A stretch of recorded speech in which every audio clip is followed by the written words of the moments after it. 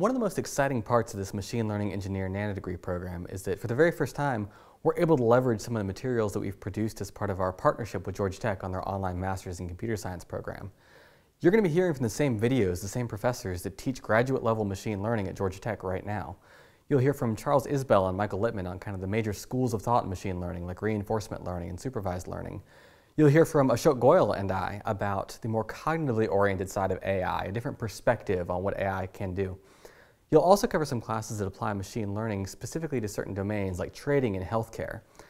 Now, because these classes were produced with a Georgia Tech online master's degree, they have their own learning goals, and we're using them in ways that are a little bit different than the way they were originally produced. So you might feel a little bit like it's a, a, a little bit chaotic sometimes.